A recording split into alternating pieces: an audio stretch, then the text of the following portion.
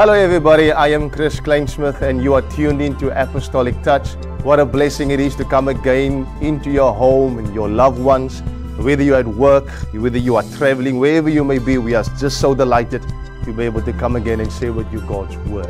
On today's broadcast, um, we have a very special guest, and he's Pastor Allan Marais. He's the senior pastor of uh, um, Antioch Reformation Ministries here in Cape Town. And um, he's going to minister and speak the word of the Lord to you and I today.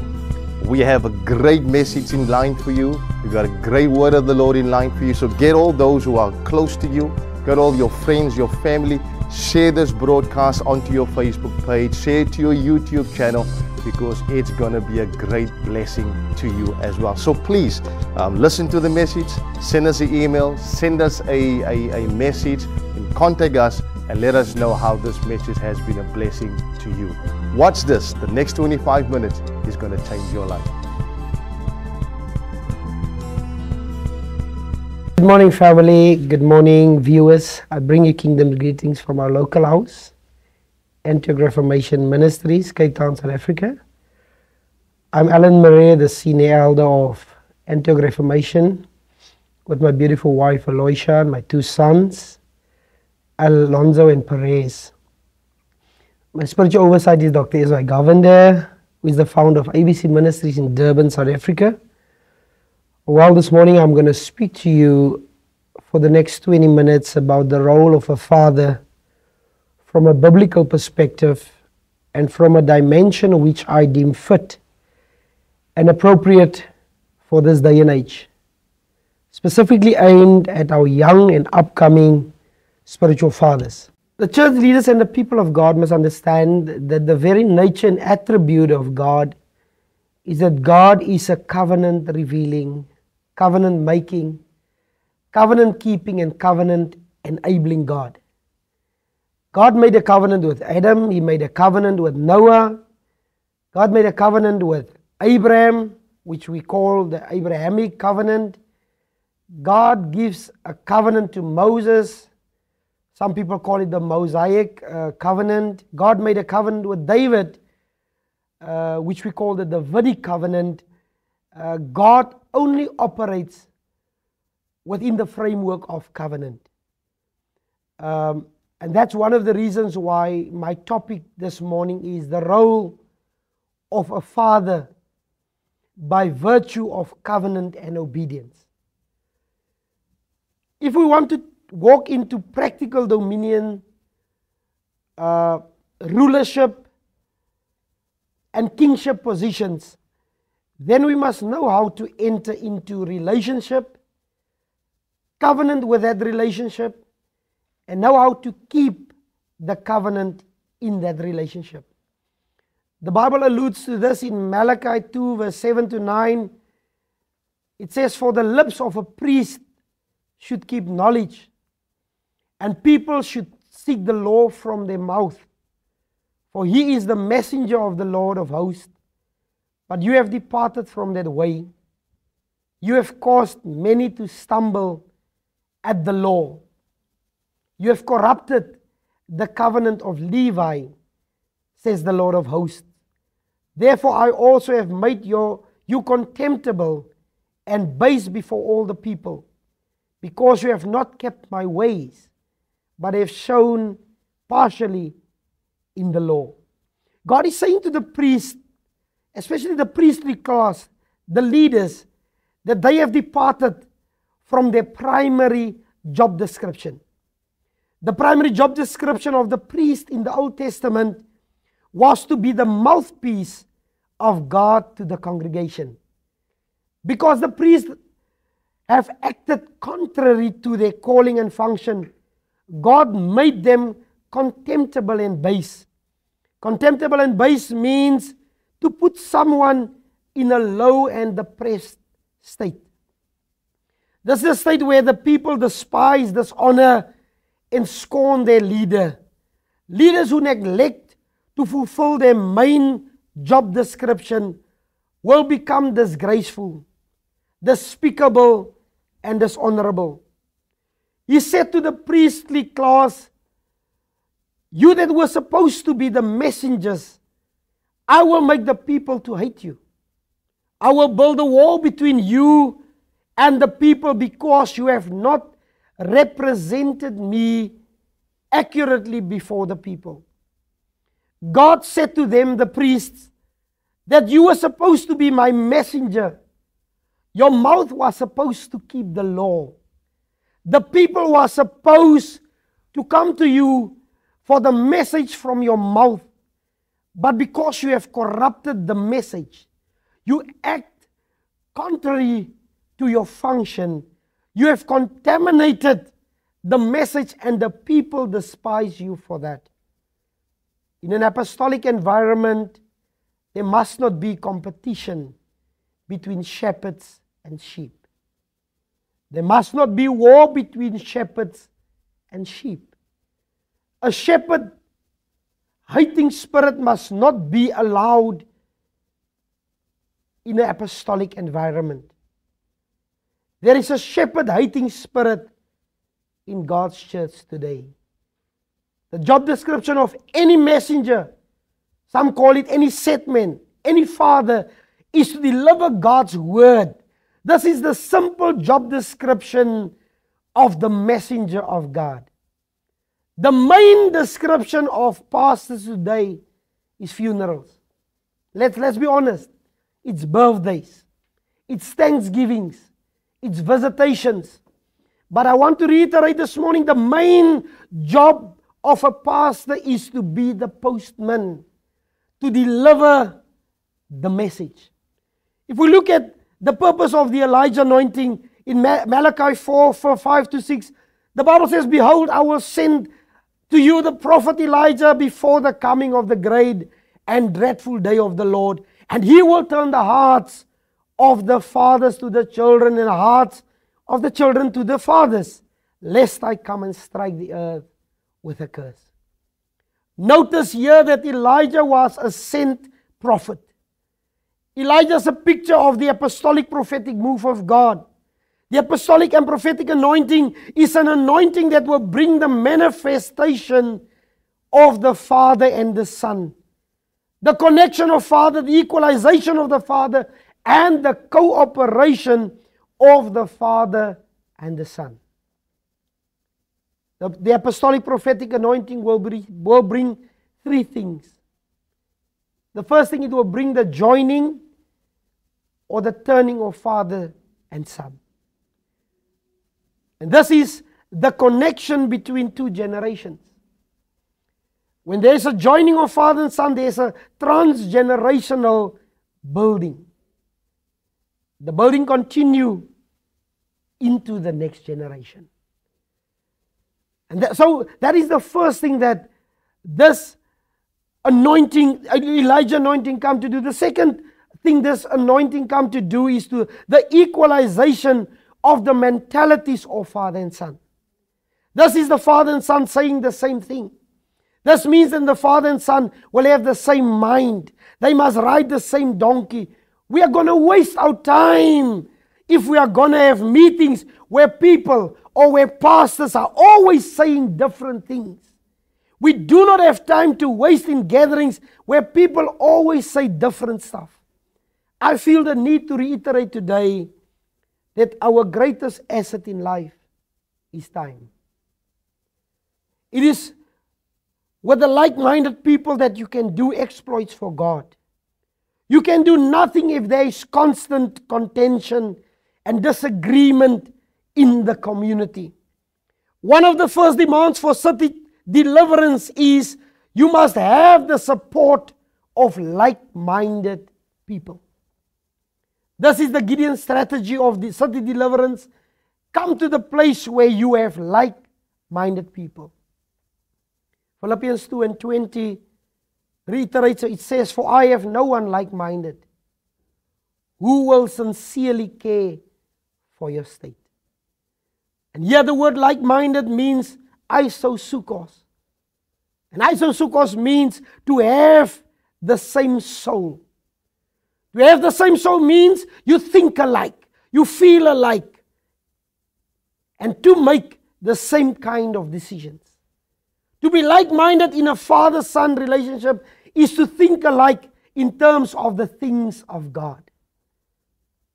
And then the third thing about this Elijah anointing is there is the cooperation between father and son. If these three things are out of place, the environment is cursed. The connection of father and son, the equalization of father and son, and son and the cooperation of father and son has to be restored. I'm repeating myself. The connection of father and son, the equalization of father and son, and the cooperation of father and son have to be restored. If there's no father and son connection, the curse will prevail. The curse will not respond to prayer only, will not respond to fasting, will not respond to prostration uh, or singing. You can be born again and you can speak in tongues and still carry the curse with you. I'm here this morning to tell you you can be in the curse and pray for 24 hours. It will not work.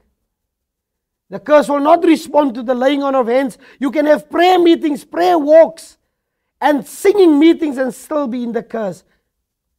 Apostles and prophets can lay hands on you. You will still be in the curse until there's a connection of father and son. When we're talking about curse, we're not talking about damnation, but we are talking of the absence of, of sustained blessings. The absence of sustained blessings. The curse implies things like cannibalism, constant strife and contention. It, it refers to things like unsuccessfulness. You're unsuccessful in your marriage unsuccessful with your children, with your friends, in business, you keep on being unsuccessful. Another, another uh, form of a curse is rejection. You're unemployable. You're at a state of desolation. One other form of curse is shortage, poverty, chronic lack, destitution. Then we look at exploitation. You get abused by others. The curse will be on the blessings. Deuteronomy 28, verse 30 to 32 says, You shall be betroth a wife, but a man, another man shall lie with her. And a wife is a symbol of the congregation.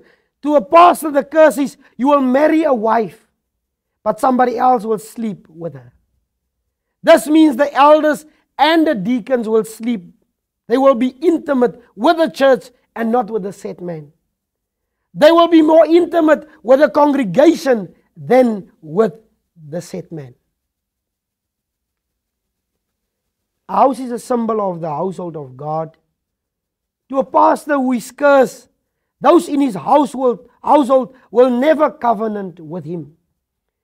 They will dwell and dwell means to marry. They will to marry means to covenant.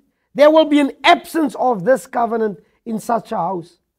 The house will be will be the dwelling of another. And that means there's an enemy in your habitation. The Bible says you shall plant a vineyard, but those but shall not gather its grapes. And here a vineyard is a symbol of the household of God the local house.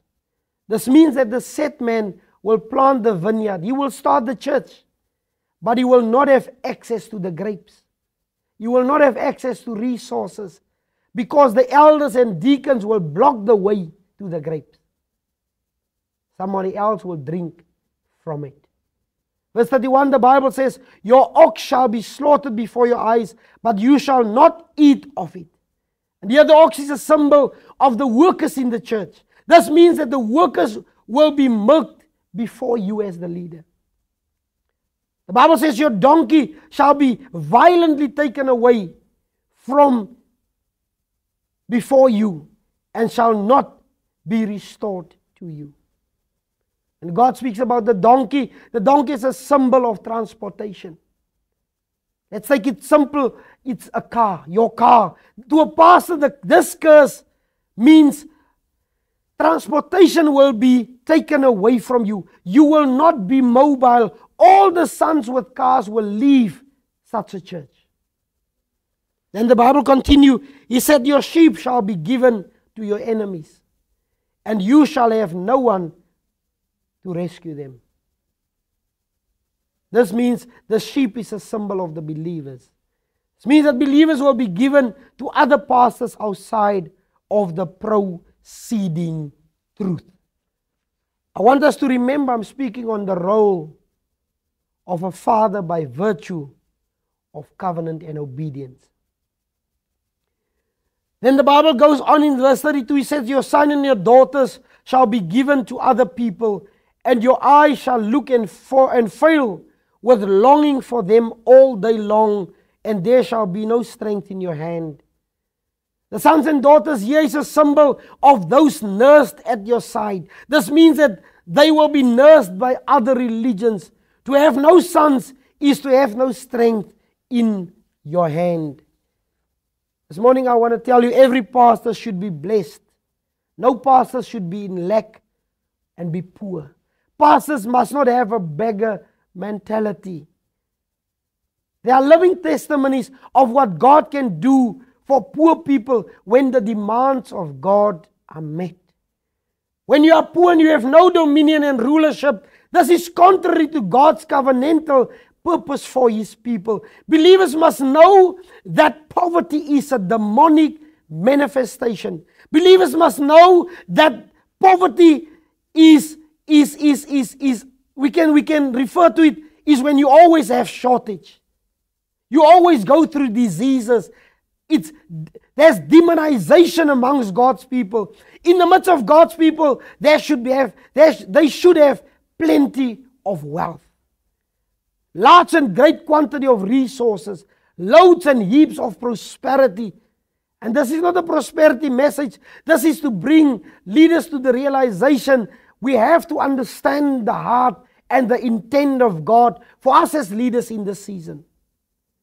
God ends the Old Testament like this in Malachi 4 verse 6. He says, And he shall turn the hearts of the fathers to the children, the hearts of the children to their fathers, lest I come and smite the earth with a curse. In other words, if the father does not connect with the son and the son does not connect with the father, there will be a curse.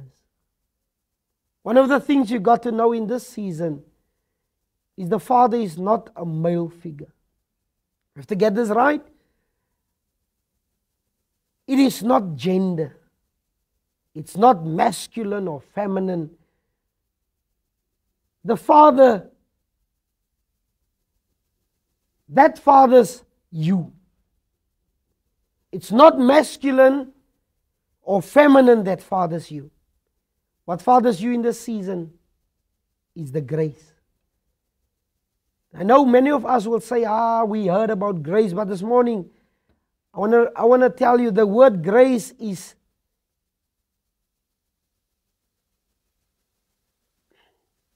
The word grace in this season is not unmerited and undeserved favor. The word grace is taking on a new meaning in this season. The grace is genderless and sexless. A woman can also father and lead churches. A woman can be a set man because it is not the gender that fathers, but the grace that fathers. There's a difference between spiritual fathering and biological fathering. Biological and natural fathering is limited by numbers, but spiritual fathering is based on the amount of grace Biologically, you can only father a few people, but spiritually, you can father multitudes because it is not the man that fathers, but it is the grace within the individual. The grace within an individual is the element that fathers. Spiritual fathering is not based on one generation, but spiritual fathering can extend transgenerationally. It is transgenerationally. The Bible says Hezekiah walked in the ways of David. Josiah walked in the ways of David. Jehoshaphat walked in the ways of David. Several hundred years after David's death, these kings study the records of David and makes David their father. They tapped into the Davidic grace. They tapped into something transgenerationally. So, what are we saying? Spiritual fathering is not determined by the amount of time the father spends with the, with the son. Spiritual impartation can take place in one encounter. We look at the Bible, there were weak eunuchs who sat at Jezebel's table and they had only one encounter with Jehu. When they connected with Jehu, strength came into their lives within a short period of time. That impartation can sustain you for months. Some people complain that the father don't spend time with them. They don't, he don't visit them, phone them, send them birthday cards, etc. People who think like this are not looking for a father, but they're looking for a mother. Paul had one encounter with Epaphras.